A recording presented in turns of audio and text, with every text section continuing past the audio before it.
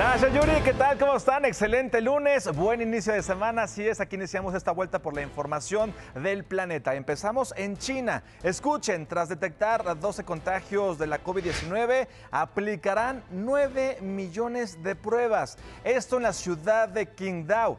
Es la primera vez eh, de en dos meses que se reportan contagios locales en este país. Presuntamente, los casos están vinculados a un hospital que atendió a pacientes infectados en el extranjero. Pues sí, lo están haciendo bastante bien aplicar la mayor cantidad de pruebas para poder detectar y poder resolver esta crisis allá en China.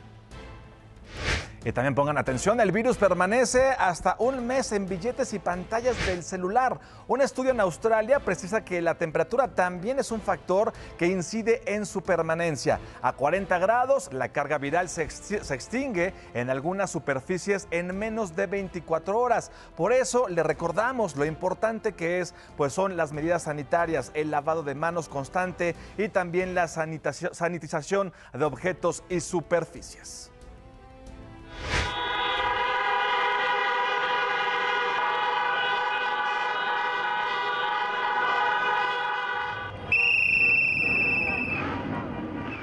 Ya lo vean en su pantalla, estas son las calles de Madrid. Esta mañana ciudadanos están en contra de las nuevas medidas restrictivas en aquella localidad por el rebrote de la COVID-19. Como le informábamos, la capital española estará en confinamiento por 15 días. No es el único punto de Europa con aumento en los contagios. Gran Bretaña, Italia, República Checa, Francia y Alemania también están en alerta por nuevos contagios. Mientras el mundo enfrenta esta oleada de nuevos casos, las farmacéuticas avanzan en la vacuna para erradicar este virus. Al momento hay 11 proyectos en fase 3 de ensayos clínicos, entre ellos la de Johnson Johnson, la de AstraZeneca y también la de la Universidad de Oxford. Mientras tanto, también Rusia comenzó hoy la aplicación de la Sputnik 5 a trabajadores de la salud y al momento también hay que revisar las cifras. En el planeta suman más de 37 millones 500 mil contagios y más de 1 millón 77 mil personas desafortunadamente han perdido la vida a causa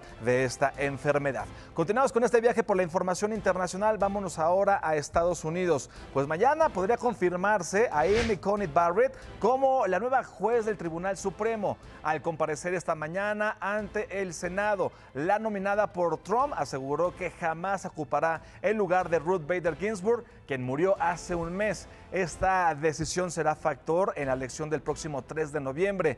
El debate entre Joe Biden y Trump fue cancelado tras desacuerdos en el formato. La última encuesta de The Washington Post pone al demócrata 12 puntos arriba. Mientras tanto, Trump reanudó su gira de campaña por los Estados Unidos. En los próximos días visitará Florida, Pensilvania, Iowa y también Carolina del Norte.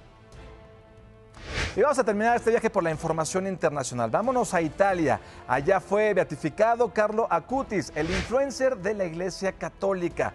La ceremonia se realizó en la ciudad de Asís, donde fue encabezada precisamente por nada más y nada menos que el Papa Francisco. Como aquí le mostrábamos, a Carlos se le reconoce el milagro de una curación de un pequeño en Brasil.